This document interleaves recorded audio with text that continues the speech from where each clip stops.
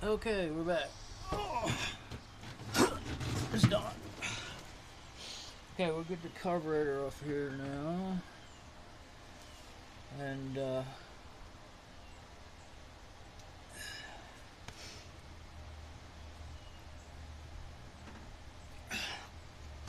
Yeah, I went ahead and uh, actually I did get a bite on my wrist. It, yeah, it's a bite. I couldn't figure out if I got if I was spraying myself with uh, where is it? You probably can't see it. It's just like crazy, and I thought I've been spraying. I put on the blue gloves because that stuff, that little bottle of insect repellent leaks like crazy when you spray it. And uh, right after I did that, I was stinging right there, and I thought, well, that must be a sore that got some of that on it. Now I went in the house and had to you know, take a little break there for a second and uh, a little restroom break and uh, put some aloe vera junk that I keep. For, says for sunburns but it's good for about anything. And so that always helps a little bit. Still itching but not as bad. So anyway I did get bit before I knew it and uh, I think they're gone now. Maybe the heat already drove them out. Well but I went and got my. I still had a little bit of poison left in my pump up sprayer, garden poison sprayer. So I just sprayed all around where I'm going to be working because I got ants like crazy over there in the dirt and those mosquitoes. I just sprayed around everywhere, not on the motor or anything I'm going to be rubbing, touching a lot. Everywhere else, I just sprayed a little here and there. And up in the, you can't see it right now, but up there in the valley there below the windshield wipers where there's uh, like holes in the drain drains. I thought, heck, they may be living in there, so I sprayed all that. So, maybe we'll be in better shape. I did remember I probably need a little screwdriver get this off. If I can see it.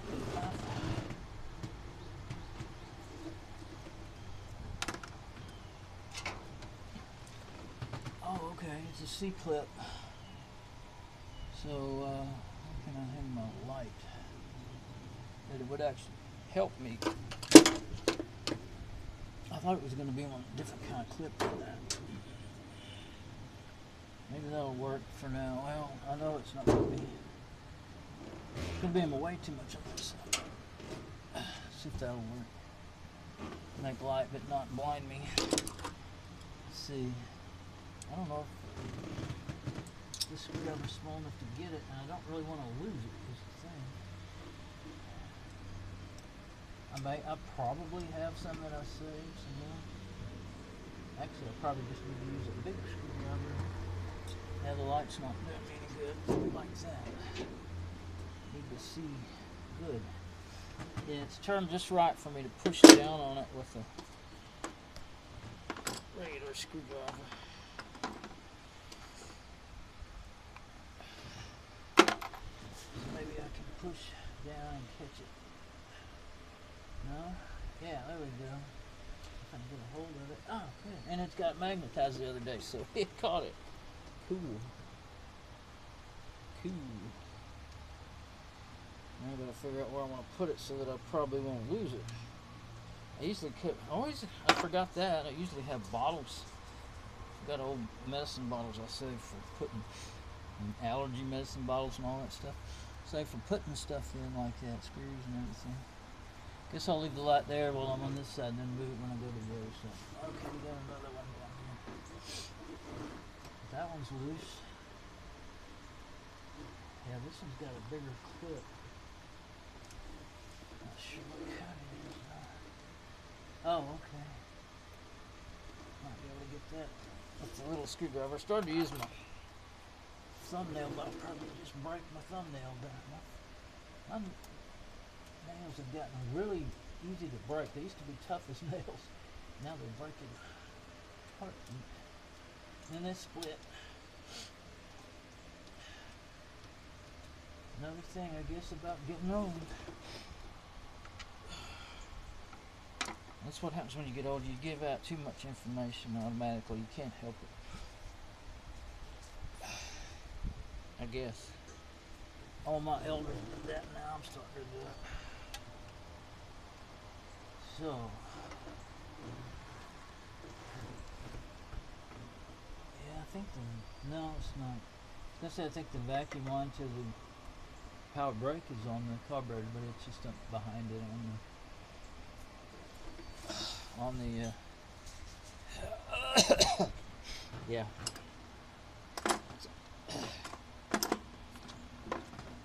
You know that place.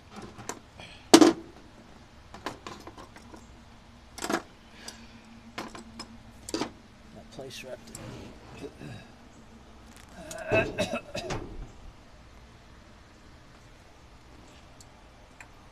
Yeah, I should have used some WD-40 to spray those down and loosen them up. I probably should. A lot of times, if you do that, you won't tear them to shreds when you're trying to get them off. Yeah, I got all three of those vacuum lines. I just gonna have to go to get it.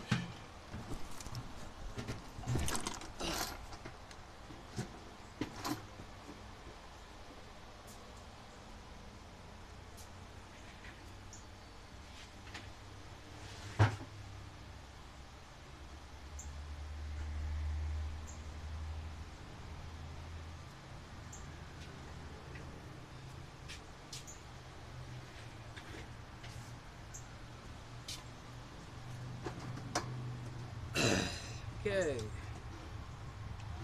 I can figure out another place to set stuff.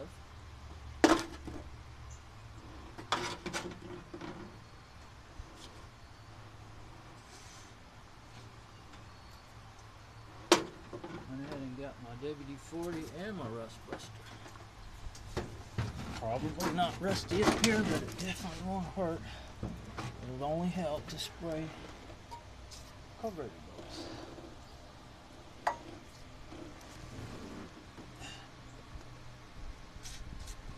Yeah, but it's probably worked just fine. But that rust buster is so strong, I don't know for sure if it's a little strong for rubber vacuum lines and whatnot. So we'll just use WD-40. And since this can is about empty anyway, probably a good time to use that up. Or you can get to it, because the other day I tried to use it and I couldn't hardly get it in a position where it would spray. Yeah. See if I can get those off of there.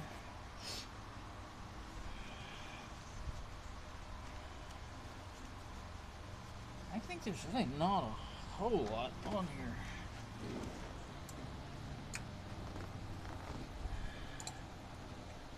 That one will turn. Uh, where's that top is? This one probably would have tore up. Now, there we go. Oh, that's always great. The daggum metal insert in the carburetor came out, but it stayed on the hose. One. I remember that now that I see it. This one may still be kind of stuck.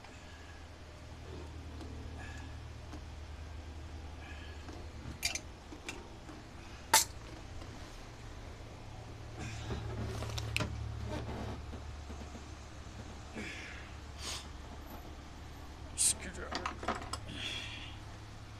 Get a little help. There we go. That's good. This one.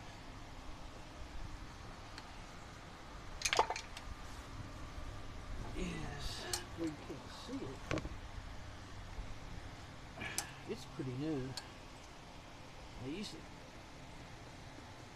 Man, but it's on get to it with the pliers. I'll try with the needles. If you just twist them and break them loose, you can usually get them out without tearing them up. I didn't. I may have already damaged it and end up having to cut it off them already. I think this one may be too concealed. I can't see it. I guess if I get to where I can see the end of it, I might have an idea what I'm doing.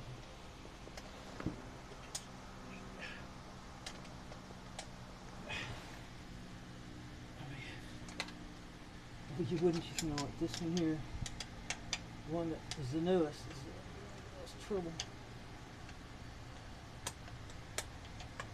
there. Got the screwdriver under it and it just slid off like it was meant to. Like it was hardly even on there. That's what they'll do. But if you just pull and yank and squeeze, and if you you'll just tear them up, and then you're gonna you, you can only cut them off so many times, and they get too short, and you're gonna have to go get some new vacuum line just because you tore up the end of it. As long as they're not brittle and cracked, they're not leaking. They're good if you don't tear them up. I think this one was stretchy enough it handled that abuse. Let's look at it while I'm thinking about it.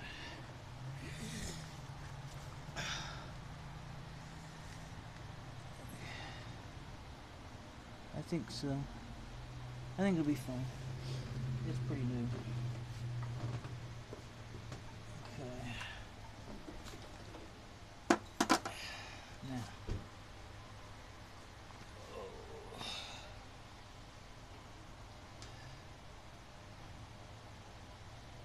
Let's see. I think it's a half inch.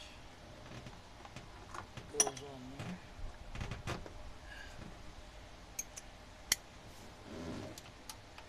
Really? No, it's three quarters, unless I got the wrong thing again. Let's see what I got. Yeah, I had seven sixteenths. Everything looks bigger to me now. Oh, I know why. I got these magnifying glasses on. It's fooling me. There we go. I've got a. I might as well put it on. Well, I won't put it on there till now, but I've got one of those swivels, socket swivels. They come in handy, and I know I'm going to need it on that back one.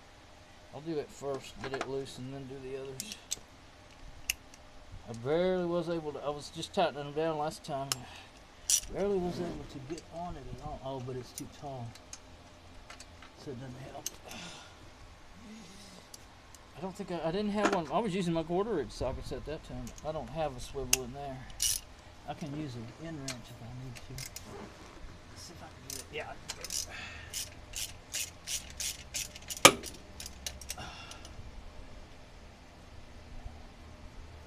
That one all the way off. And then get the rest. I do need a, a bucket for bolts.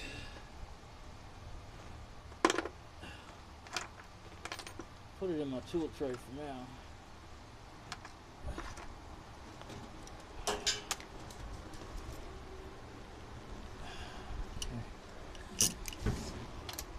One's hard to get to too, but you can get a good bite on it. Now I'm gonna loosen all of them up. And what's that thing? It will cut your knuckles to shreds. I guess I could try taking it out. No, it'll keep me from banging on my choke when I take this apart. To choke. I don't know. But right off. I think the last time when I rebuilt it, I ended up taking it out. It's easier to take off with it bolted down because pretty tight. With it for now. I don't think I know what I want. Okay. I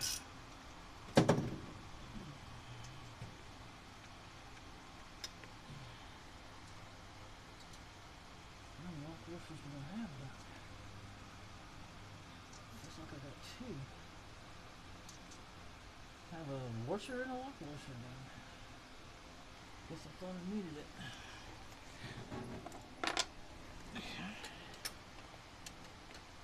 Oh, it doesn't work good on the square end. You gotta use the socket. The hex hexagonal end. Is that what you said? Not what I say. I say socket. Socket end. I saw that on the. I was looking at spark plugs. Oh, lock washer, washer. Yeah.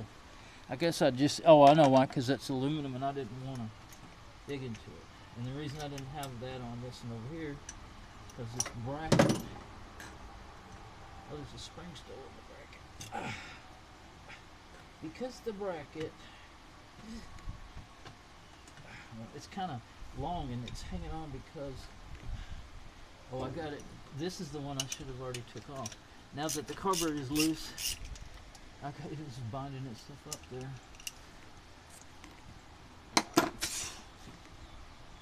There's the bolt. Yeah, I thought it came all the way off.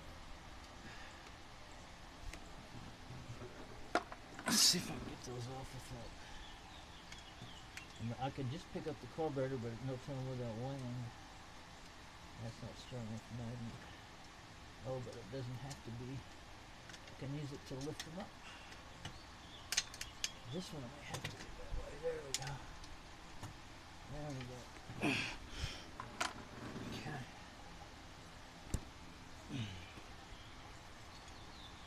Carburetor. We got more stuff on here? Yeah, we got PVC. I'll get that off later. Okay. It's loose except for that spring. Going to this bracket here. Yeah, see it's if you can see it or not. Where is my yeah, there it is. It's uh, got another hole, but this Holley, you know, it was for a Carter. I imagine this what was originally on the Chevrolet here, Carter AFB or something like that. It's uh, it had a place for it to bolt in, but this one don't. But it works fine. It you put the one in, and then it it uh, it uh, sets on the back of the carburetor. No problem. Doesn't move around or anything. Okay, so uh, choke, choke wire. That's been redone many years ago. Put it up there. Oh, that's a new gasket. So I guess my kit comes with a new gasket. There's my my carbonator, my carburetor. Now we'll get it out on the bench and I don't want. I was fixing to on that board that I put on top of the battery, but that'll get gas all over it. This actually was a good piece of plywood. Was once upon a time. I got stuff in my way. Set it right there for now. Until I crawl out of here enough. That gasket is actually in pretty good shape. So I'm gonna leave it like that. Yeah, see this went on there. And there what it doesn't reach the other one. Make oh yeah, 'cause the other the factory uh, intake manifold, yeah, it wasn't the carburetor, the factory intake manifold would uh, was narrower, bolt pattern reach it. Yeah, the brake booster's back there. Let's see what everything looks like in there. Can. Well, it looks looks like it's had gas in there. But I need to put something in there. I've got one of my really dirty rags. I don't want some crap falling down in there. So let's tuck that rag.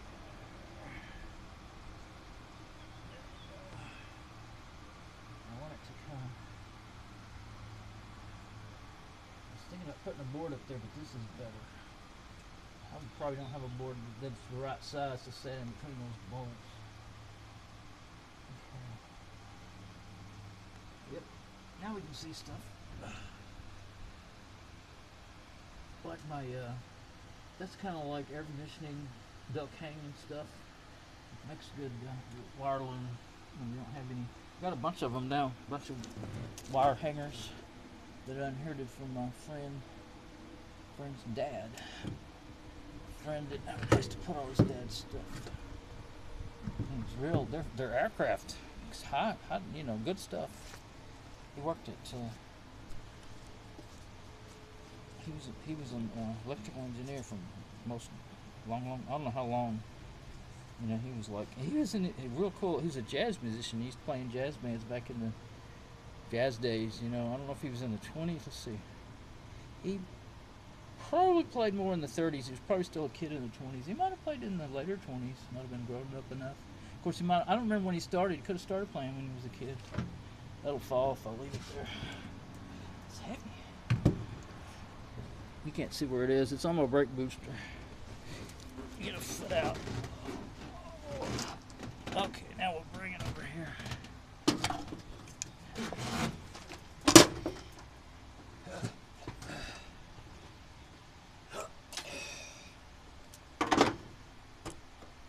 I'm gonna go over here if I can show it to my workbench that I set up.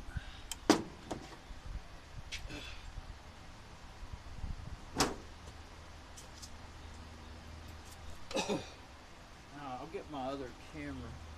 Oh, I didn't show it. It's out there. Can't see it. Can't see but the end of it. Okay. I tried to do that with a carburetor in one hand and not seeing the screen. Didn't work. Light. Turn it off until I need it again. I think I'll switch to my other camera because it's got a taller tripod and you can aim down at the table or something with it where you can't really do that too well with this one. Okay, I'll stop and get my other camera set up.